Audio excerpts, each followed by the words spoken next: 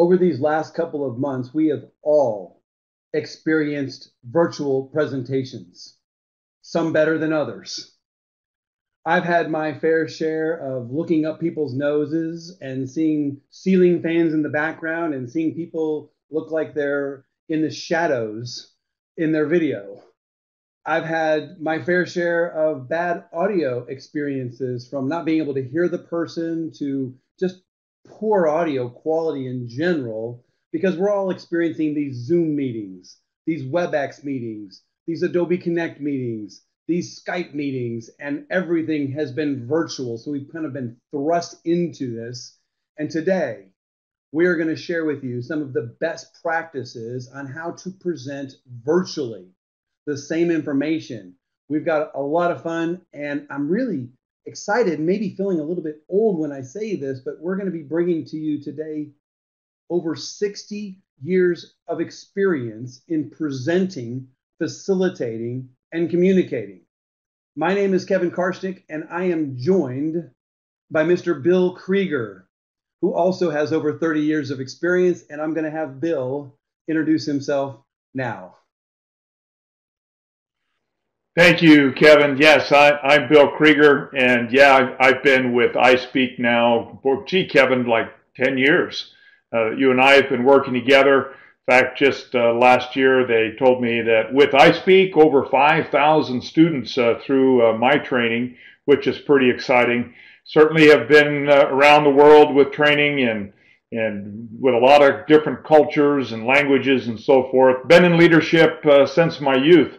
I'll, I'll tell you though, group, what really, really describes me is just the excitement I get and certainly the fulfillment I receive when I'm helping others succeed and become better. Uh, don't you agree, Kevin?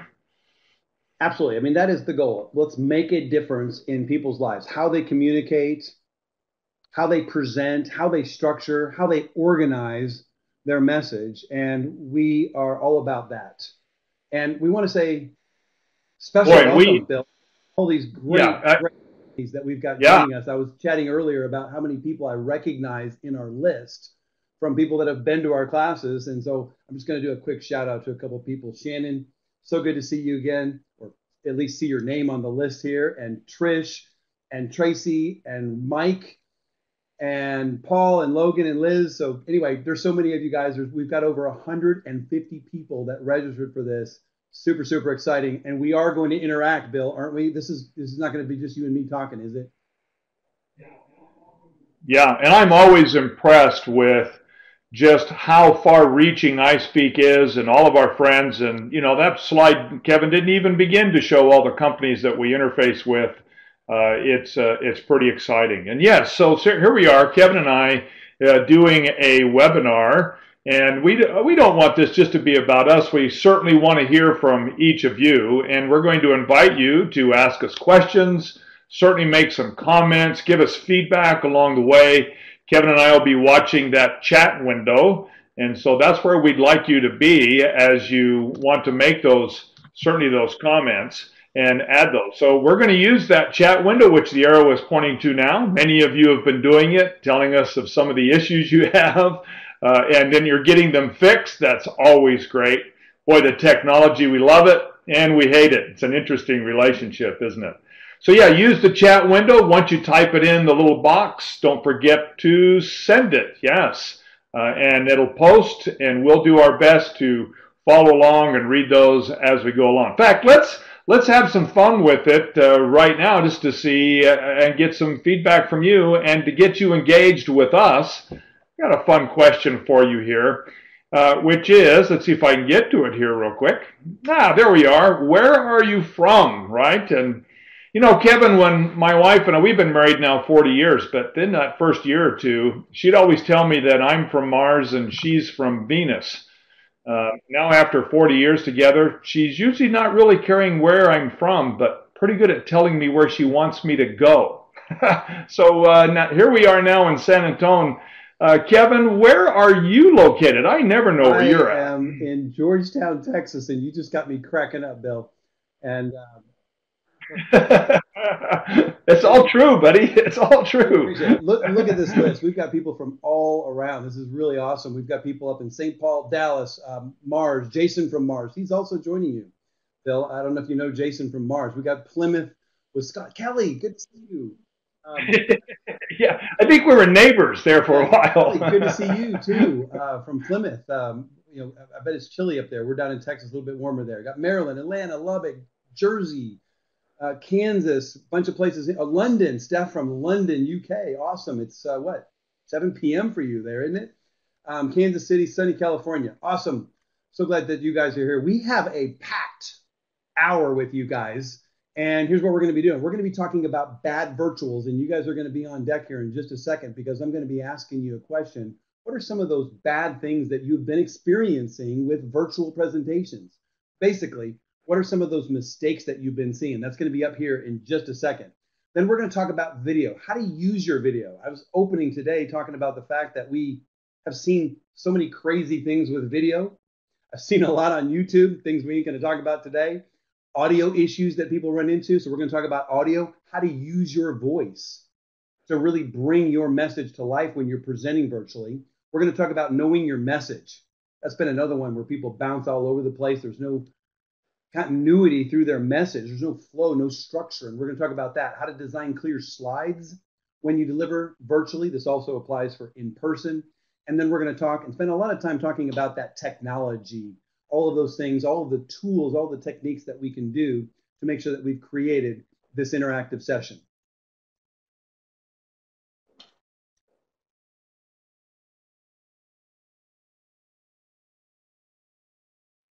Yeah, so jump in here into the chat window group and share with us some of those things that you have seen that just have driven you nuts, right? When it comes to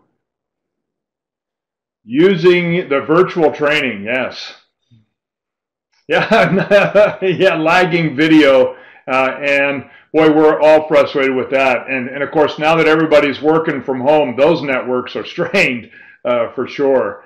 Yeah, not muting, Renee. That's uh, thank you. Yes. The next thing you know, we're hearing conversations and noises we really don't care to hear. Their phone, and then they have good music playing, and it really becomes a distraction, doesn't it, Bill? No, I, what are you saying? What'd you do? Did you leave us? uh, yeah, yeah, and the sounds that that WebEx makes, Kelly. Yeah, you know, every time somebody comes in, we're going to get a chime. All right, so it's it's like you know, hey, the most important thing I want you to know today is, and what did you say? Yeah, yeah, good.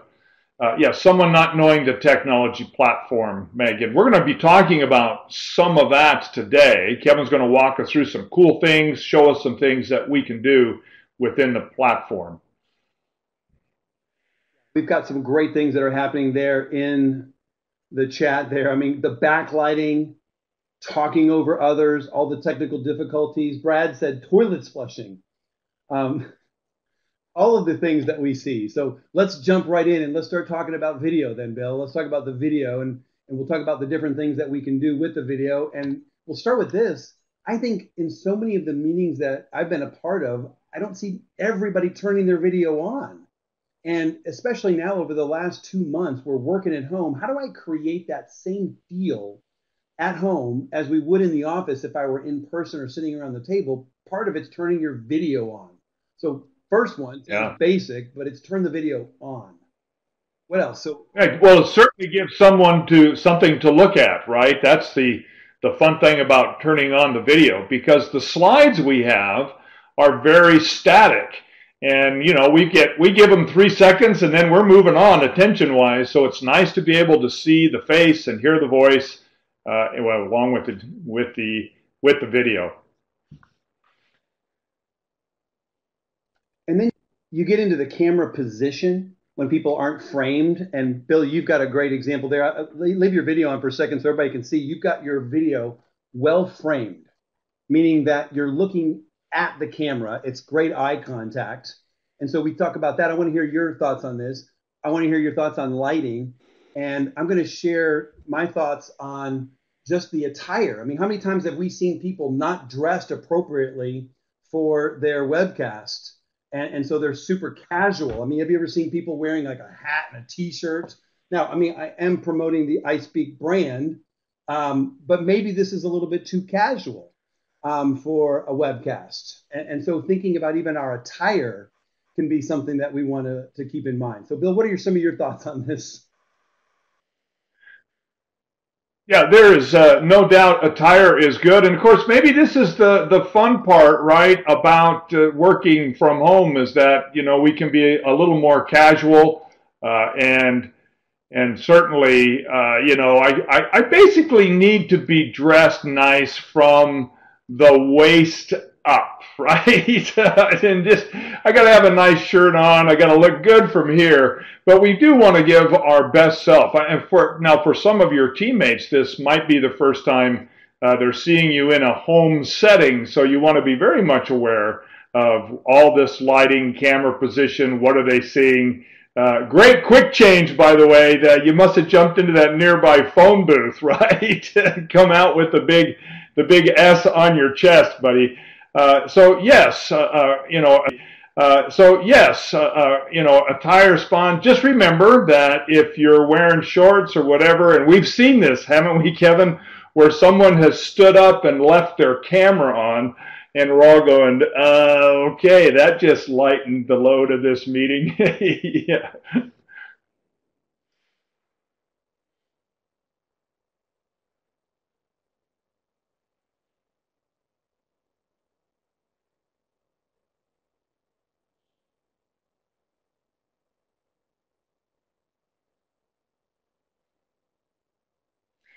Hey, Kevin, it sounds like you're muted again, buddy. You're trying to give us that lesson one more time that you have to unmute your microphone. Yes. I,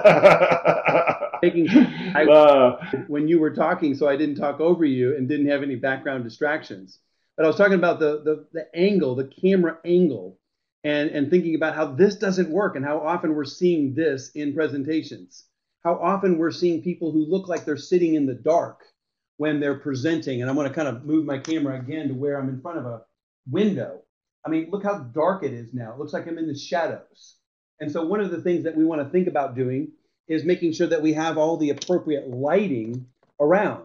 Now, one of the things that I do, I've got an overhead light, but I've also, I'm about to turn it on, I've got a desk light that just shines enough light to where we can see. It also makes me look super tan, doesn't it? Um, I'm not nearly this tan. But uh, that light, and, and it's also, it doubles as a sun tanning light so that I'm actually tanning myself while I'm here in my home office. But the, I'm kidding. The light is giving me that balanced lighting for us. So we want to think about eye contact, bringing that camera up, maybe thinking about purchasing an external camera, but really thinking about the frame of the video so that we're not looking down into the laptop and that we've got a good frame. So those are some of my starting places. What else on this list for you, Bill, are any tips or tricks that you've got for the audience? Yeah, and that's going to deal with, because I know a lot of times when we're communicating, uh, we want to use body language, we want to use our hands. Uh, I mean, this is part of the dynamic of turning on the video in the first place, is that it's, uh, it's not static. So we can see you, the face ex expressions, and so forth. So when it comes to movement, we want to be very, very careful here and know that any movement I do that is certainly not in line with what I want to share with you, then it, it becomes really a, a, distraction, a disengagement tool. Now you're wondering, uh, Bill sitting in a swivel chair, what's wrong? Will you just calm down? Uh, we also want to use hands and gestures, but the struggle can be on a virtual setting in that we typically have our hands out in front of us, which puts them closer to the camera. Now all of a sudden, I've got hands that look like they came off the Hulk from a Marvel movie. Uh, in this case, move them closer to you. So if you want to use your hands, make those elbows bent all the way and keep them very, very close to your body. And now we can make gestures and they're fine. Also, don't make them too quick because if you start moving them really fast, all it is is a blur. Let the face tell a lot of the story. Some of that is the angle of the camera, going back to that, where my angle is down a little bit to where you can see some of those hand gestures. If I'm sitting too close to the camera like this, then all of a sudden you're losing out on all of that. So backing up just far enough from the camera, enough to where we've got your head, we've got maybe the upper body, now that people can see the hand gestures. Also looking at this list, we've talked about lighting, we've talked about our attire, making sure that we're dressed appropriately for the situation. The backgrounds. Let's talk about the backgrounds. What's behind you? I have seen into people's kitchens. I have seen into people's bedrooms as we've been doing these virtual presentations over these last two months because people don't have home offices. And so, really thinking about what that backdrop is going to look like when you're presenting. Movements, Bill's been talking a little bit about that. I like to put my feet grounded on the floor so that I'm not finding myself swiveling in my chair, which I definitely have seen over the last few months, and people who tend to come back and forward with their body language. All of these things become distractions. So, all the things that we want to be looking out for when we are presenting virtually. We also want to be careful of our audio. And you guys, I just saw in the chat, were saying Bill's much louder than me, and I'm trying to talk as loud as I can. But we can adjust the audio within the platforms that we're using, whether that's Zoom, whether that's WebEx, Skype, or here in Adobe Connect, we can adjust our microphone settings. And so I turned mine up a little bit. Bill is going to turn his down a little bit. We'll see if that helps. But there's a lot of things that we want to be thinking about when we're presenting virtually. We want to use our body language. We talked about video, but we also need to be able to use our voice. And Bill and I, Bill and I, we've both seen our share of people with low energy and people who come across monotone. Bill, what are some of those things that you've seen when we're teaching people or we're part of these virtual presentations? You know, it's it's interesting you asked me that because just yesterday I was uh, calling in to get to some customer service on my automobile, and the gentleman who answered the phone, and I won't give you his name, but it just cracked me up. Uh, this is uh, this is what I heard. Now I'm going to turn my my uh, video off so that you just hear the voice, and it was like, "This is uh, JT. Um, how can I help you?" Uh, I can tell you at that point, I wasn't sure. I even wanted to keep the conversation going. yeah, and and so we have to have uh, the energy high. And group, when you're doing a virtual presentation, you're going to find it to be more energy taxing than if you were in face-to-face uh, scenario. And and so we want the energy up. Now, there is a little caveat with that, and that is that we don't want the energy to be this high all the time because that can be taxing also. And none of us want that monotone voice, right? And I call it, Kevin, I don't know what you refer to it as, but I refer to it as the GPS voice. you know, it's like it's that voice that just goes, turn right in 500 feet. I mean, th- this person isn't isn't even concerned on my GPS that I'm late for a meeting or I'm trying to get uh, to the hospital. I, I mean, it's just so boring, and and you know that if the audience is not hearing that energy or the excitement in their in the voice, that it actually can cause them to feel tired. That's the reaction that we can have, and then we just disengage and pretty soon we're wishing we're anywhere. Let's not give them, let's not give them a reason to disengage from us. Yeah, and, and I don't know how many. Great point about yeah, Kevin, you got one of the best hundred thousand dollar smiles uh, on the web here. So come in, talk to us about a smile.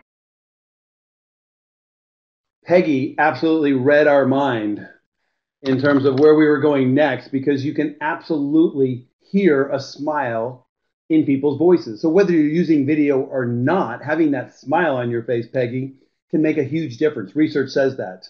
And so we want to be thinking about bringing that smile to our virtual presentations. But isn't that hard?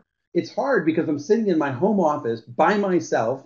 I've got nobody to look at. There's no energy to feed from. So that's where that monotone comes in. That's where that low energy happens. And who am I smiling at? There's nobody here. So we've got to put on that right face, knowing that our virtual audience will be the ones listening to us. And so these are some of those things that we want to be monitoring. We also want to monitor our speed. I've definitely seen people who are talking too fast. And talking too fast looks like this visually when somebody's presenting. And I've seen people, and we could go through a lot of information if we talk really fast. And we're going to go through this whole entire webinar. We're going to talk about how to prepare and how to develop and how to deliver your presentation. We talk about how to prepare your presentation. You got to make sure that you know your purpose, what you want your audience to know, feel, and do. You want to know your audience, who are they, where they know how much do they care. And you got to make sure your timings are all lined up. And make sure you know the essence of your message. Then you get into the opening, you want to build the structure of the message. Make sure you got a good opening combo is like to teach credibility, attention, body, audience, bring all that together. Then you have good body points. Then you have good supporting material. Then make sure you get all visual put together. You got a good closing called MAS, M-A-S, memorable action summary. Then you make your storyboard, put together your good slides, plan for the Q&A, make sure your visual, vocal, verbal are all aligned. And then you build your presentation and then we would be done with this webinar. But that was great. We're done. yeah. All right. Yeah. Take a drink, buddy. Holy cow. I lost my breath listening to that. we want to be aware of our pace and the cadence and making sure that we're landing enough pauses to give our audience time to process what it is that they're hearing. So these are some of those things that we do. And then one last tip, Bill. What are what else do we like to tell people that help with our vocals? Uh, yeah, and thank you, Kevin. And this is this one's a big one. And and even if we're not virtual, this one transcends even when you're when we finally get out of these, uh, you know, this lockdown and we can go back to work face to face. It's going to translate into that too. Uh, think about uh, posture when you're sitting. And the, the great thing about standing and why Kevin and I would say, let's do it, even in a virtual, is because, again, it affects posture. We're not crunching the diaphragm down to where, you know, we're becoming short of breath, we're not projecting well, inflection can suffer. So, you know, just stand up. And when we stand up, it does force us to be in that great posture where we can project our voice and avoid some of the pitfalls that we've just talked about. A, a, real warning here, though, is that if you stand up, you also need to get that camera to come with you. So our picture, uh, and Kevin, I'm, I'm at home. My desk doesn't have an elevator to it where it's going to reach seven feet tall for me. So I, you know, I've got to stay uh, kind of laying down at my desk. so, uh, but I know for you, uh, you can stand at your desk and probably not lift the, you know, the laptop up at all. But think about standing and also group, even on those occasions when you're you're not turning on the video for that moment. Don't be afraid to use your hands also, even though people can't see us there is a connection between your posture and your gestures and what your voice will sound like. If you're finding yourself hitting that monotone and so forth, then stand up and help bring the energy. Get the hands in motion and it will reflect in the voice that you're using. Uh, and yes, uh, not quite, Kevin. I'm not quite seven feet tall, uh, but uh, pretty close. As I get older, I'm I'm just sinking down into the earth we've got to know about our video frame. We have to be aware of our voice and that we're using it appropriately because we've definitely experienced that monotone feel, that low energy feel. So we've got good video, we've got good audio. Now let's talk about a message. And I don't know what it is about virtual presentations, but it sure seems like those are more scattered than the presentations in purpose in person because maybe it's that face to face where people can read the audience's eyes. And so we're going to talk a little bit about that. I love this opening quote from George Bernard Shaw. He says, Sorry for the letter. I didn't have time to write a postcard. Think about it. What does it mean? Sorry, he's apologizing for writing a letter because he didn't have time to write the postcard. Anybody chat window? What do you guys think that means? My interpretation, curious to see if you have some thoughts on that, my interpretation, take your business, for example, and it's this it's I apologize that I spoke for 30 minutes, rambled quite a bit, talked in a few circles, because I didn't take the time to organize my message and really boil it down to 10 minutes. So, sorry for the 30 minute meeting. I didn't have time to prepare for 10 minutes, which is what you really needed to know. A couple of ideas in there. Mike Crusoe dumped in and said, Yep, it's hard to be concise. Kelly said the same thing. It's more difficult to be short and concise than it is to ramble. Takes more time to organize our thoughts. You know, people didn't take, Carla, didn't take the time to prepare. And so having that preparation, and I am going to add to this rehearsal of it, that when I've got what I call a critical or you know one of those critical conversations that we're going to have, it's my boss, my boss's boss is going to be on the call with me virtually. I'm going to grab my phone and I'm going to record the rehearsal of it so that I can go through and make sure that A, my timings are there, and B, that I stay on task, task with my message. And so we want to be thinking about how we organize our message and that we're not rambling. So, Bill, what are some thoughts here on ways that make sure that we don't ramble when we present? Yeah, well, the key here is is that we've we've got to know really what our message is and the key points. And the struggle is that when we're not clear where we're trying to go with our presentation, very easy to get derailed and head down these off ramps or rabbit holes, what whatever you want to call them, and then it's just blah blah blah. We also need to correct the paradigm that I'm just going to talk a little about everything because really what that means is a lot of nothing and people will disengage. In our training, which is called Message Builder, we share some of those tools and techniques, certainly all of those tools and techniques, so that you have a crisp, clear, strong opening that gets engagement. Remember, if we don't have their attention, we can't seek comprehension or even expect any retention. So we need to get their attention. So we show you tools with that. We show you how many points can be made in a presentation and how to close it. In fact, how many points? Uh, hey, Kevin, I really have 21 things uh, I want to talk about here on Message Builder. Uh, are you good with that? Is that okay? Feels a little too much.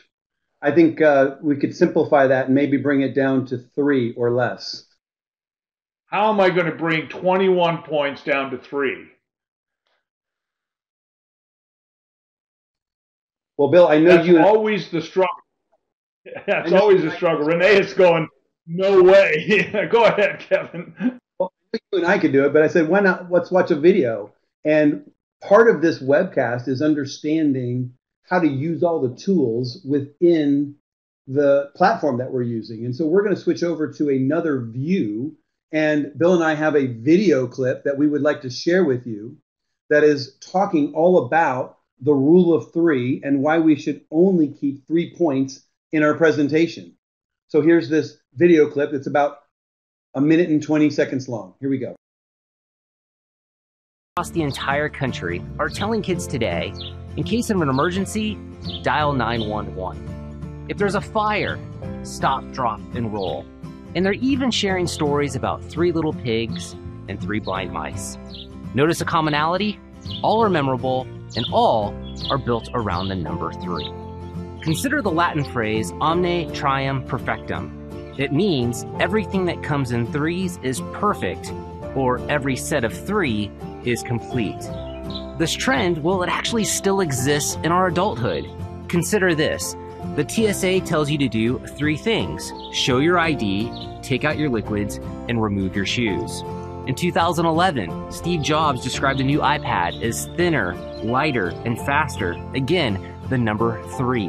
The rule of three is really all around us because it works.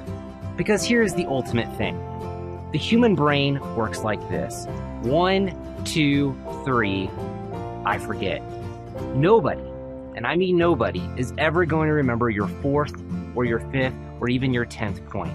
So the next time you work on your presentation, aim for this. You guessed it, the number three.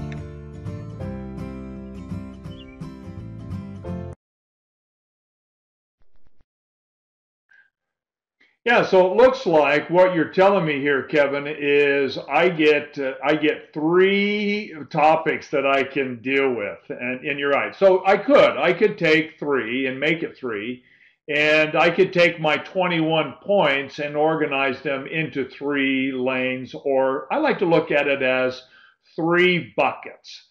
And three buckets just works, and I put items in the bucket, which would be my supporting information uh, to get my points across. So time doesn't change the number of buckets. It's all about really the audience. The audience doesn't want 21, right? That's crazy. But the audience will be okay with three. Because remember, it's all about when selling a house, Location, location, location. Three is complete. It is also the simplest of all patterns. So think three buckets. That's what I'll use.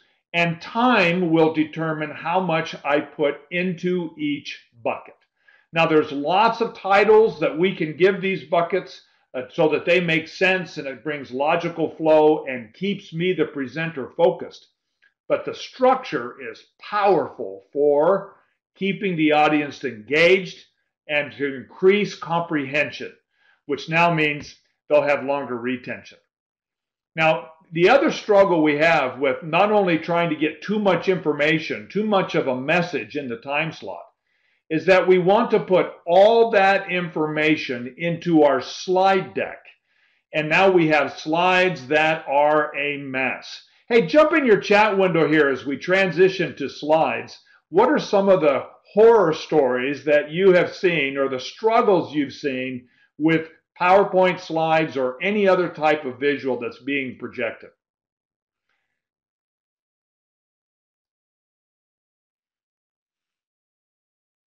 Good, Je- Jennifer. Yeah, the type's so small nobody can read it. Yes, Peggy, you're there too. Uh, uh, yeah, Chris, like reading a novel. Yeah, Kevin, we've got some examples of that. yeah, and then Megan is teeing us up for this next one, where somebody puts every word that they're going to say on their PowerPoint slides. Now, this does eliminate the need to memorize your presentation, but it ultimately makes your slides crowded, wordy, and boring and your audience will be reading your slides and they won't be listening to you. And if you go off script, guess what? You'll really lose them. And then you'll definitely lose them before you reach the bottom of your first slide. Don't do that. We don't want poor visuals to go with our virtual presentations. Virtual presentations, it doesn't matter. If you put up a busy slide, guess what I'm going to do? I'm going to start reading it. And this comes from our visual storytelling workshop. Again, warning, this is a plug. Our visual visual storytelling workshop is an all-day class that dives into how to create better visuals to go with a great message. So our message builder class, learn how to great deliver a great message. The visual storytelling class, learn how to create great visuals and tell that story visually with your slides. Now, the example that I want to ask you and we're going to do together is this. Everybody know this guy? What's his name? Somebody go to the chat window. What's his name?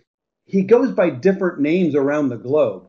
I was teaching a class this morning, and I had majority of my team was the class was from EMEA, from Europe, and he goes by a different name there, Wally. Everybody typed Wally into the chat window. Uh, Christopher knows him as Gary. Christopher, I'm not sure where you're going with that one, um, but he does go by different names. How do you play the game? How do you play the game? You find him, right? You look for him. And if I brought up a busy slide like this and I'm continuing to talk, guess what your eyes are doing? Guess what you're doing? You're you're probably focused more on the slide than you are looking at me. And that's not a bad thing. You're probably more focused on the slide than you are listening to me. And so what I'm saying isn't going to really have an impact on the rest of this presentation if the slide looks as busy as the slide that you're looking at right there. Uh, Bill found him. Bill, um, we can we can highlight him there. He's right there in that little circle. I promise he's there. But what's our point? Our point is that when you're creating great visuals to go with your virtual presentation, we want to make sure that we don't let the audience find it. It's not it's not about searching for the point, but instead we give it to them. Give them the point. So don't let them find Waldo. We want to give them the Waldo of the slide would be great to give them the Waldo of the entire presentation so they know what they were listening to. And then on this particular slide, they're able to clearly take that point away from what it is that we were trying to, to do. And so there's some different ways to do this. Bill, one of the things that we teach is how to simplify the slide. So let's walk them through a couple of these examples. We'll start with a busy one, and then let's show them some ways to, to make it a little bit easier, a little bit cleaner. Uh, yeah, thank you, uh, Kevin. And Oh, I lost my, looks like I lost my camera. let's try that again. No. Uh, all right, so let's see if I can switch to a, a, select a different camera here real quick, see if that'll work. Uh, yeah, here we go. So I'll come over here and get you on this side. Yeah, this is uh, always the struggle. And I like what Jason was teaching each of us in that uh, he was saying he tells his team cut it in 50% by 50% the text uh, at, at right after that first draft. I think that's a great a great a great tool. So we have this uh, oh too much on this slide, right? Even though we have some nice headers and so forth, and you know uh, topics, uh, it, there's a lot here. So let's talk about making it simpler. And, and so really what we're doing here in this uh, process is we're eliminating some of that indented text. The last thing we want our slide to be is our speaker notes.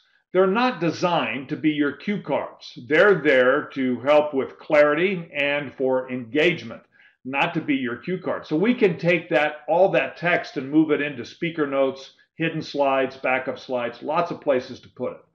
So look at what we've done here. This is better. Uh, it's still not as great as it possibly could be, but it is a lot better than where we began with. All right, so let's take a look at another way to do it where we use more graphic and less text. So notice here then our customer experience, and I'm going to remember the phone, the truck, the web, you know, the World Wide Web. I'm going to remember the trophies those images will be much more memorable than just words. In fact, we can take it even in another level. And if I show, will show you this next slide. And all we've done here is smart art. And this is easy to do. And how many of you have done some smart art before? I'll look into chat Chathinder real quick. Uh, if you've not played with smart art, you're missing out on saving yourself a tremendous amount of time. So this is easy conversion right into uh, smart art, right? Yes. Uh, yeah, okay, so we have this option. Look at how much cleaner, more engaging, more memorable this will be, and how much simpler it is than that first one with all the text. Now, can we make it even more simple? Uh, let's take a look at another choice of how we can do that. Now notice that we might have gone uh, to the extreme here, but the point is given. Here's the customer experience in the center our customer, and we have phone, we have uh, we have 24/7 delivery, we have web solutions, we have award-winning service, and the pictures tell the story, and then I have the information. I, the presenter, I am the knowledge expert not PowerPoint, not Microsoft, it's going to be me. So now I have a slide that is assisting me and not me commentating slides or trying to explain a slide that's just crazy. Kevin, you got some more ideas possibly of what we could do to bring some uh, uh, another idea. Now I like this one. This one's called stacking, and this is so easy to do. And I know Kevin who's a master of this, can probably create this slide in like three seconds. The one reason why I like it, especially in a virtual training situation, is that people are looking at your slides, reading them, and then typically they're disengaging and doing something else. Oh, yep, got it. And and oftentimes when we're just using bullet points and text or even a line chart, and the next it doesn't change much or the slides look the same, I have the same four bullet points with the same picture. The next slide has the same picture, same heading, but different bullet points. But as I look at it, it looks the same. And now I'm missing it. So here's another way to do bullet points, lots of color, big flash. Anytime the slides are changing, it will bring your audience back into your virtual presentation because they want to see what's on yeah, the these, screen. These are good. These are really good. Right, Kevin, what can we do about some yeah, go ahead. What can we do about bringing some focus then when I have a slide that's just a mess? Yeah, well, Bill, I was going to just pivot back to Peggy's question. She was asking where do we learn about smart art, and I put insert smart art in the chat there. But let me let me do this even go further, and I'm going to share my screen, Peggy, and I'm going to show you how easy smart art can work with. So I pulled up the exact slide that we were looking at earlier with those three bullet po- or four bullet points on it. I'm going to highlight all four of those bullets. I'm going to right click I'm going to go to this option right here. This is even faster. It says convert to smart art. And then I can choose one of these options down here, any one of them, whatever makes sense. I'm just going to click on a random one here with an arrow. And in, in two seconds, we've just created a very simple smart art slide. If I don't like this layout, I can go back to smart art and I can choose a different format and find one that seems to fit what we're trying to do the best. So Peggy, that's how easy smart art could be when we're using smart art. So I thought I would branch out super fast and, and show you that. So there's another feature within sharing our screen in these virtual meetings where it changes and we're able to give our audience a new perspective on something and sharing our screen might do just that. So peggy we got to branch off and i got to show you that as well. So we want to have simpler slides. We want to focus our audience. And when we focus we want to think about how we focus them around our slides. And there's lots of ways to do that in terms of highlighting things and ways to, to do this. I'm going to give you one example and then bill we're going to move over and we're going to talk about the technology, all the different things that we can do. And we've been showing some examples of it. This to the day is still one of the worst slides I've yet to see. It's very busy, crazy with all kinds of diagram all over it. Hard to really follow what it is. Using a focal point, we're going to insert a transparent yellow circle to drive the audience's focus to a particular place in the slide. That's how we can focus them virtually this is very helpful because I don't get to point. When we're in person, I can gesture to a slide and point to exactly where I want you to look. Virtually, it's harder to do. And so we can use these animations to do that. So I focused you there. Doesn't last long, does it? Um, P. Lawyer said, you know, this made me disengage instantly, but now I, I drew your attention there. And then the very next slide, we dive into that topic. We dive right into those five boxes on the slide and now our audience knows exactly where we are. And so these are some of those things that we can do visually. We've talked about simplifying the slides. We've talked about refocusing our audience. And next, we're going to talk about the technology. We want to spend the last 15, 20 minutes of the webcast talking about the technology. And we're all using so many different types of platforms. Zoom probably being the most popular. Today, we're using Adobe Connect to be able to deliver this webcast. You've got Skype, GoToMeeting, you've got WebEx, you've got the Google Hangouts or whatever Google's calling it these days. And so we've got a lot of different options. They all have some similarities. We're going to try to focus on the similarities. And then there are some differences between each of them. We're not going to be able to dissect into each platform. Different companies use different platforms. But we do want to walk you through some of the things that we do in terms of how we do this and so, Bill, let's kind of walk them through some of these things. And we have a full day class, eight hours of just virtual presentations. And not only are we going to do a lot of what we're doing in this webcast, but we're going to go deeper. But the best part about it is we don't have 80 people, we don't have 100 people on the session, we have 10. And you turn your video on and you deliver a virtual presentation while the rest of the class and your instructor gives you live coaching and live feedback. Really powerful. So you'll know if something's not working right.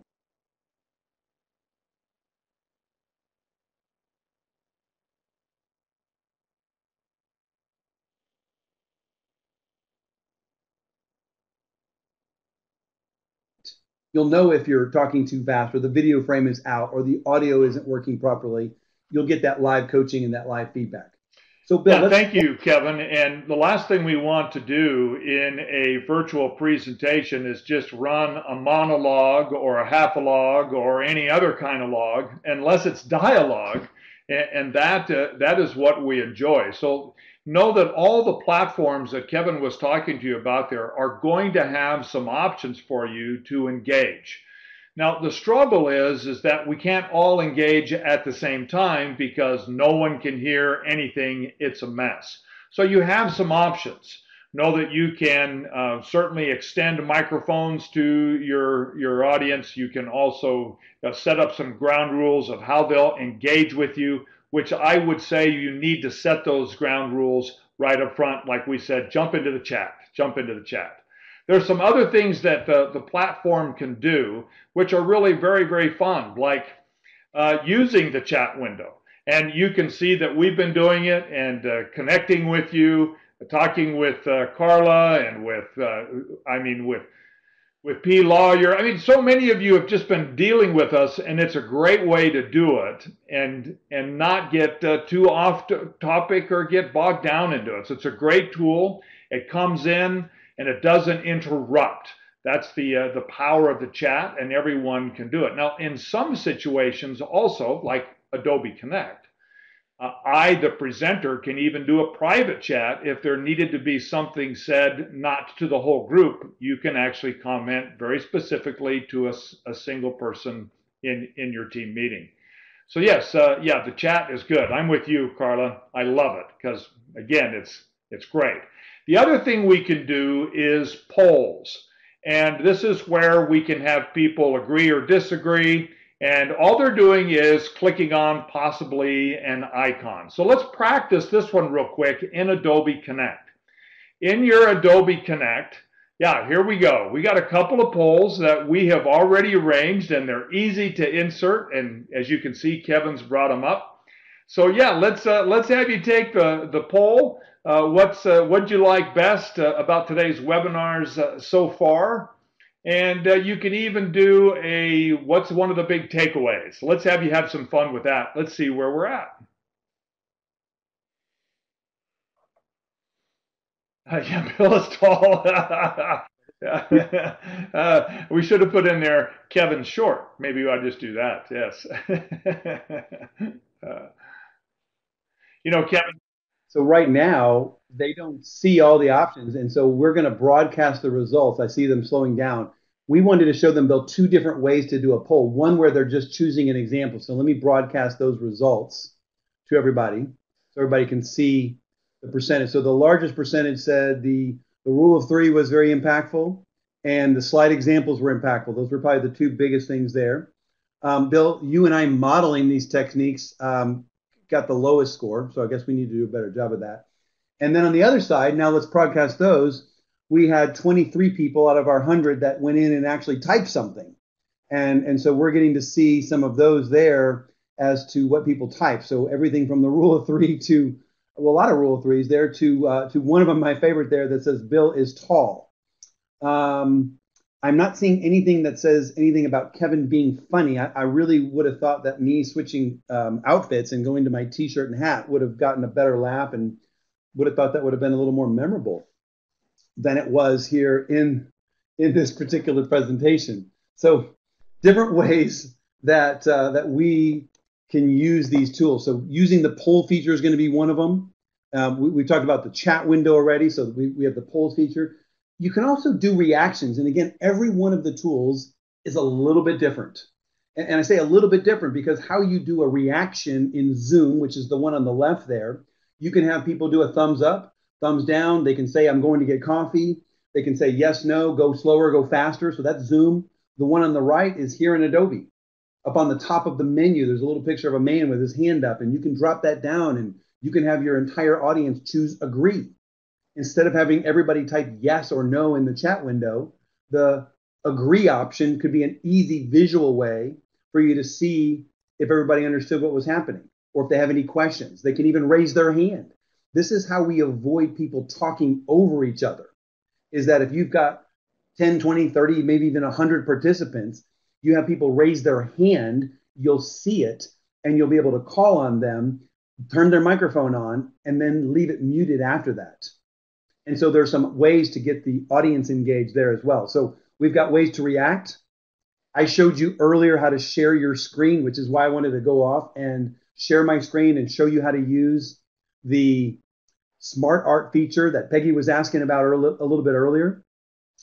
And Bill, we, we talk about questions a lot, and, and this is how you engage. People tend to tend to feel that it's it's a one way street and that we have to do all the talking, but we don't. We can have two presenters. We'll talk more about that in a minute and we can also ask the group a lot of different questions, and we can have them respond by raising their hand. We can have them respond by going to the chat, or we can have them respond with polls.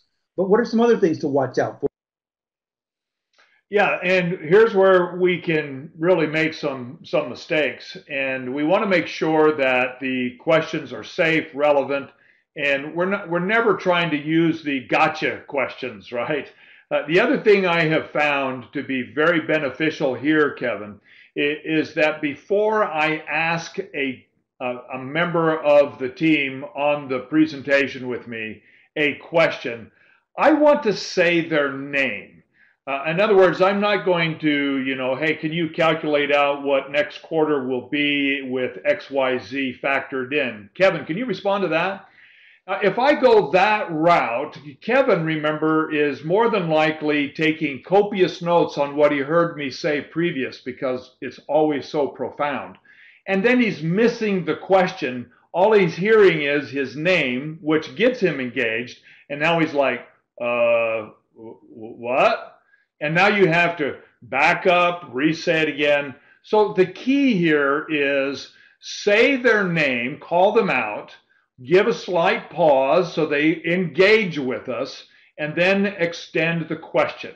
And in this case, we are setting them up for success and not failure and keeping them engaged. So using names is absolutely paramount for the success of really engaging your audience and getting them into a dialogue with you.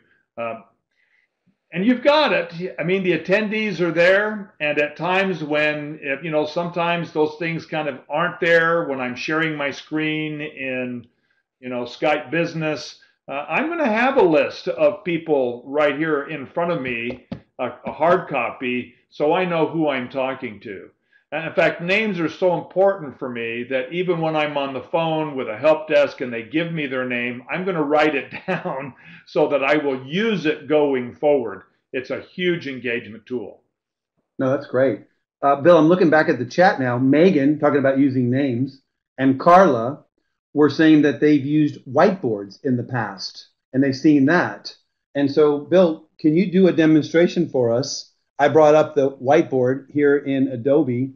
Where have you used the whiteboard? Because this could be another way that we engage the audience. And, again, it's different when we make these changes. And, and that's why I've changed the layout a few times. That's why we've changed and, and we've shown videos and we've done polls and showing our video. Sometimes we turn our video off. That doing all of this are changes that keep our audience's attention. So how have you used the poll? I'm sorry, the, the whiteboard feature?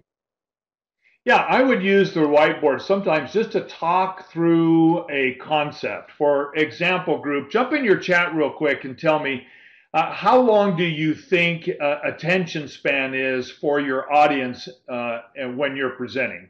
What's the average attention span? What would you say? Yeah, Chris, about seven, three, seven, two to three seconds. You've been listening to me talk. I've already lost you. Yeah, so we can we can play with this and share with you some research, and this from the Journal of Chemical Education. So what we can do is uh, we can describe what I usually do. I describe what they did, giving everybody a remote. They get to click in where their level of engagement is throughout a presentation. So we then take all that data and we chart it. So I get my X and Y axis going here, and it doesn't have to be a accurate. I'm just wanting to get a point across. So over here, we're going to have, uh, this is attention, and down here, I'm going to have time. All right, so real quick, group, in your chat, at the very beginning of your presentation, where is the audience's attention? You think it's high or low? What would you say? Right at the very, very beginning. Yeah, you're right, group. It's going to be high. So I'm going to put it up here. Let's go to this point, which is 30 seconds in. That's 30 seconds. What's happened in the first 30 seconds? Do you think it's gone up or do you think it's gone down? Okay, good. Depends on engagement. Most of you are saying down, yes. And this is what they found is that it actually does a major dive. Uh, it's going to come right back up again and it's going to dive one more time and then finally just uh, crash. Uh, now, so 30 seconds in, we've lost the audience. We see another big dip at five minutes and then again at nine. So here is a way, Kevin, that I would use a whiteboard to bring engagement and help me tell the story.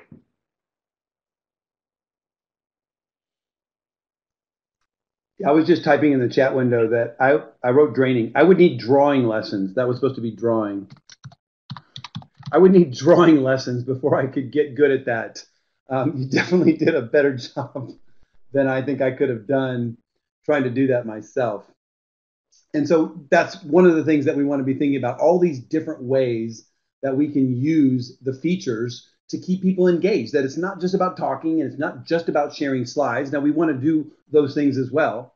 We talked about raising hands, getting people to participate in the auditory. Now, we've got 100 people on. I'm not about to start raising hands and, and calling on people. Then you run into some microphone issues. So when, when I'm when I am presenting, I like to do all of that. I have people log in five to 10 minutes early so we can do all the testing before the meeting starts.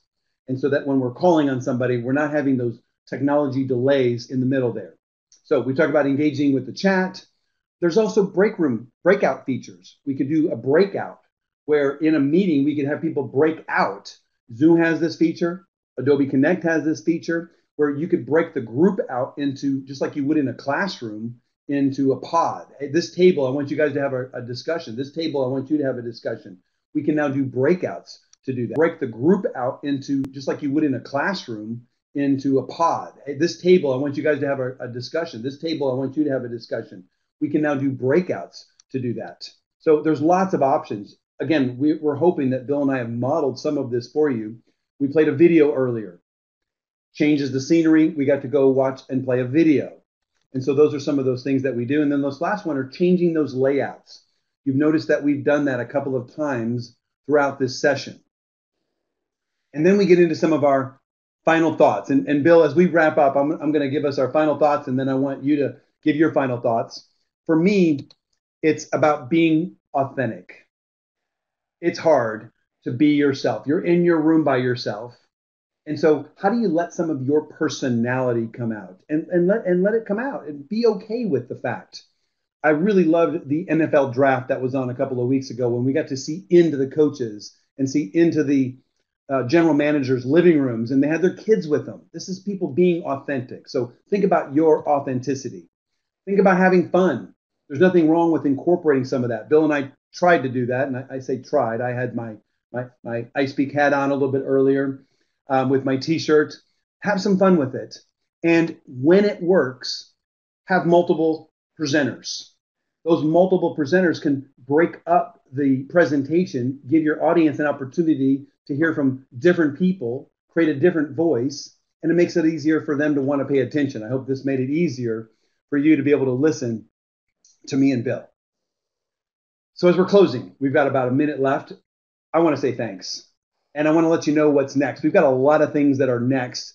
And that is, you, number one, might have some people at your organization or maybe some friends that might want to take this exact webcast. We've got two more coming up next week. The next one is May the 20th at 2 p.m. Central Time. Sign up for it and have some folks come and, and get some of these same tips and tricks.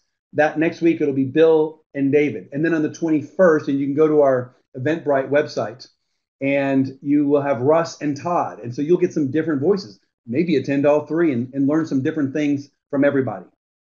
If you liked any of what you heard, we talked about the message builder workshop, the workshop, the virtual presentation workshop, the visual storytelling workshop.